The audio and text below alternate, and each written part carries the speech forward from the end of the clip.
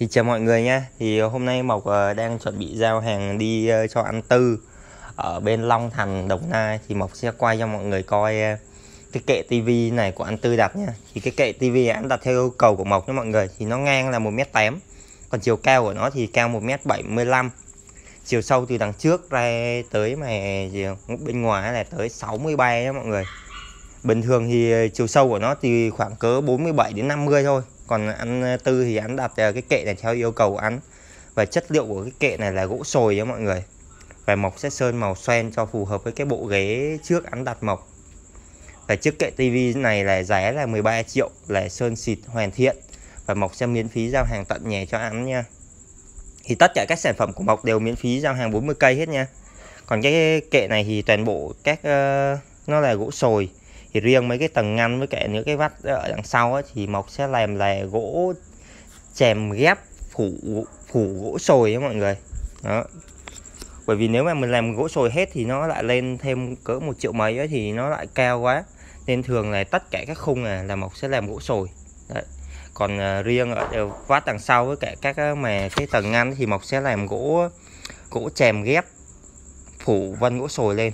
Đấy. nhưng mà bình thường ấy, như mộc có chỉ cho mọi người coi vân gỗ thiệt vân gỗ rẻ mọi người coi vân đằng trước vân đằng sau nó không giống nhau là mọi người biết nó là vân gỗ phụ rồi.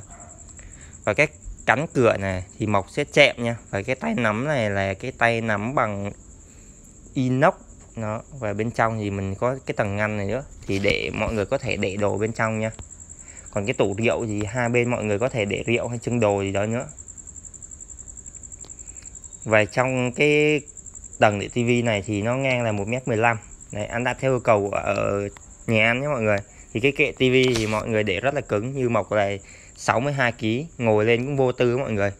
Và cái chiều sâu ờ, ngang qua của cái kệ tivi này là 1m15 và cái kệ này là hàng có 102 mọi người, bởi vì hàng này đặt theo yêu cầu, nó không có cái thứ hai. Và cái ở dưới này thì ờ, nó có thêm cái hộc kéo nữa nên thường ấy, mọi người nếu mà muốn các sản phẩm mà mọi người có thể yêu cầu mộc là, nhưng mà bạn phải biết vẽ nhé mọi người. Bạn phải biết vẽ như cái chiều cao, kích thước chiều sâu hoặc là cắn cửa ngang bao nhiêu bao nhiêu.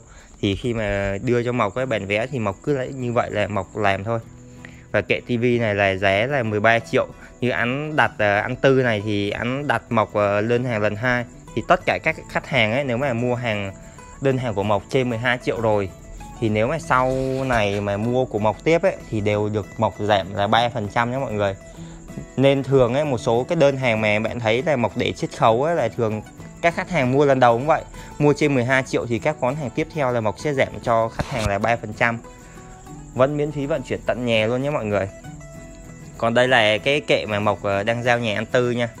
Đấy, cái kệ tivi gỗ sồi và mộc sơn màu gỗ xoan. Đó thì bình thường ấy, cái kệ gỗ sồi hay gỗ sen đèo ấy, thì giá nó cũng ngang nhau thôi nha mọi người.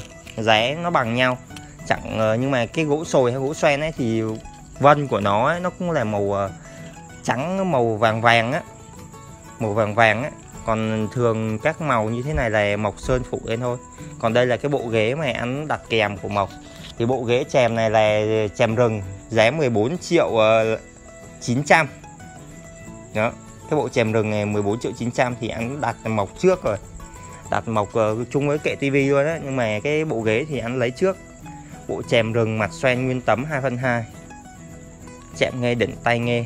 Giá là 14 triệu 900 cái mẫu này thì Mộc cũng quay giới thiệu cho mọi người nhiều rồi. Đó. Thì anh đặt ở bộ chèm rừng và chiếc kệ tivi này. Giao hàng tận nhà anh về bên phía khu vực mà Long Thành. Đó thì ờ, uh, mọc sẽ miễn phí vận chuyển tận nhà anh anh chưa gần khúc Long Thành đâu gần chỗ mà uh, thủy uh, cái gì thủy quân lục chiến gì hai gì á. Đó. và chiếc kệ tivi đây nhé thì uh, thường ấy, một số khách ấy thì muốn mọc quay thực tế nhà khách như thế này thì để cho mọi người coi tham khảo luôn. Với cả nữa thì Mộc thấy thì lúc mà mình quay hóa đơn lên ấy thì một số khách hàng người ta coi thì người ta cũng thích hơn. Là bởi vì giao hàng thực tế chứ không phải là mình giao hàng chăm gió, đó. Còn cái đây là nhà anh nha. Thì nếu thấy clip của Mộc hay thì nhớ đăng ký channel bên xưởng nhà Mộc để tham khảo các mẫu ờ, bên ờ, nhà Mộc làm và các mẫu của bên khu làng nghề Mộc nha. Là làng nghề đồ gỗ Hố Nai, Biên Hòa, Đồng Nai, đó. Thì ờ, đây là hình ảnh mà khi mà kệ ra đi nha. Đó, cái kệ này thì nó phải chất xe tải mọi người, đi xe nhỏ thì không đi được và kệ này lúc mà bê lên thì cũng phải có bốn, năm người bê lên. Chào tất cả mọi người nha.